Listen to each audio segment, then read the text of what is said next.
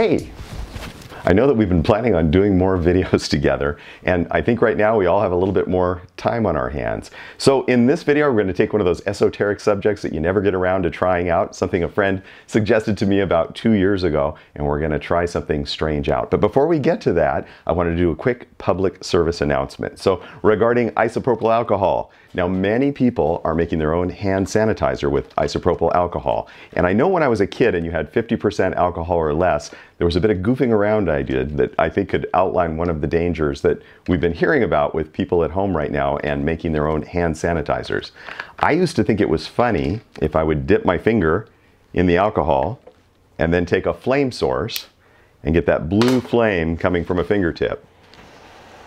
So that is a piece of paper that is set on fire by the blue flame from a fingertip. And I'm telling you, don't try that at home. The last couple of videos that we did were flagged for dangerous content.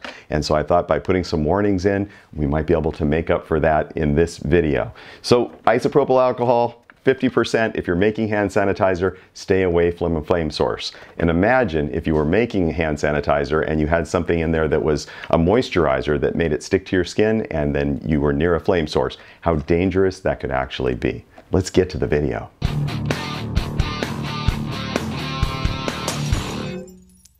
So today's video is definitely a what if video. About two years ago, my friend Matthew said, well, what would happen if instead of atmosphere in a bulb, you filled a light bulb up with water and then plugged it into the wall? And I thought, that is a terrible idea. We should definitely try that. So light bulbs themselves are very mysterious objects, as I'm sure you know, and we'll see if we get an unexpected result.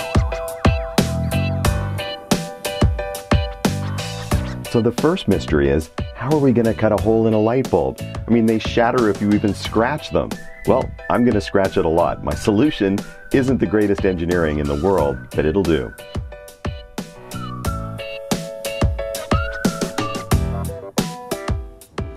Time to set the light bulb up so we can get a safe distance away. Water in there. Five, four, three, two, one. Whoa. Now that was really strange.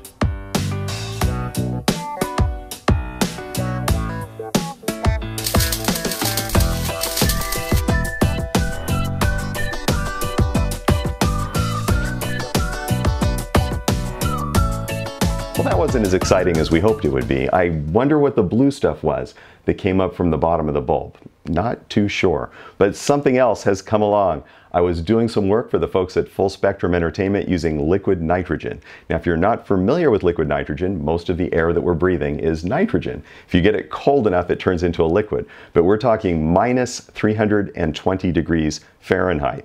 So what would happen if we filled our bulb instead of water but with freezing liquid nitrogen. Shall we find out?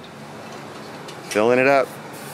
So when that freezing cold liquid nitrogen hits that red hot filament, it's going to turn straight back into a gas and it's going to expand. That is the definition of an explosion.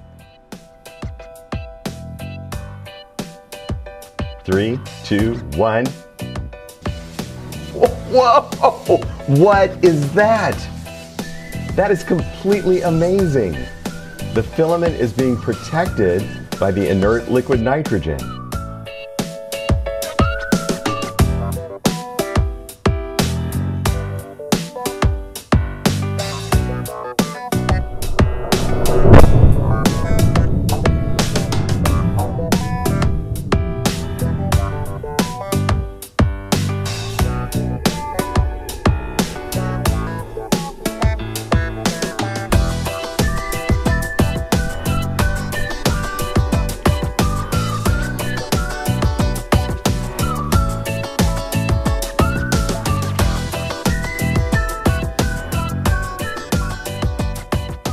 Wow, so those results were really pretty unexpected.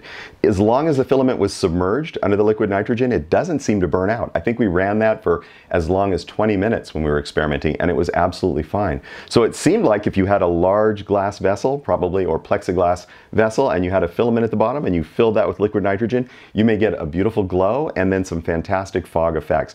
Definitely take into account your engineering knowledge if you're going to try anything like that. You wouldn't want to have a liquid nitrogen spill, and you certainly wouldn't want to have an open electrical circuit anywhere where someone could come in contact with it. But the effect, as I said, and as you saw, was really very interesting. And I think there's probably some experimentation still to do.